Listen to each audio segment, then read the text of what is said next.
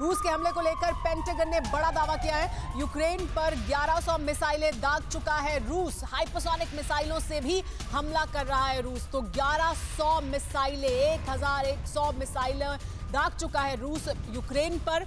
Hypersonic मिसाइलों से भी लगातार हमला कर रहा है रूस, यानी घातक हथियारों का इस्तेमाल कर रहा है। परवाह देश की। सोमवार से शुक्रवार रात 10 बजे टीवी 9 भारतवर्ष पर।